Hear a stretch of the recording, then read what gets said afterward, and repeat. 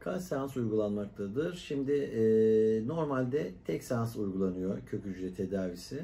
Başarısı da yaklaşık 6 ila 9 ay arasında bekleniyor. E, 6-9 ay sonraki olan başarı durumuna göre gerekirse ikinci seansla uygulanabilir.